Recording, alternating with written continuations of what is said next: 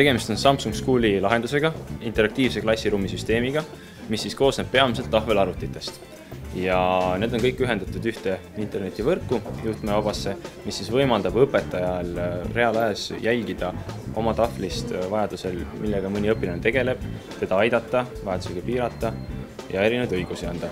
kui keeruline on aru saada sellest uuest süsteemist võib-olla vanema põlvkonna õpetajatele, kes on harjunud traditsioonilise õppemeetoditega?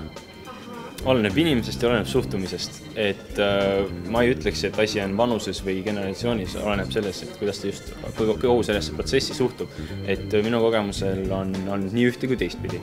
et äh, siiski, nii kui on tahe olemas, siis tegelikult süsteem on väga lihtne, et üks, maksimum kaks päeva ja see on väga intuitiivne, et need õpivad kõik selgeks. ma ütleks, et äh, nüüd siin poole aastaga on konkreetselt Samsung Schooli lahendust Eestis viies kohas, neljas koolis ja siis Energia vastuskeskuses.